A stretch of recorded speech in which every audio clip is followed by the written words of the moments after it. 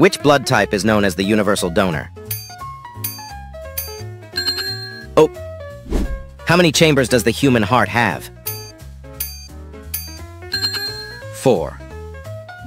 What is the powerhouse of the cell? Mitochondria. What is the basic unit of life in the human body? Cell. What is the main function of the pituitary gland? Regulate growth. Which part of the human skeleton protects the brain? Skull. What is the function of the synovial fluid in the joints? Lubricate joints. What part of the brain controls voluntary movements?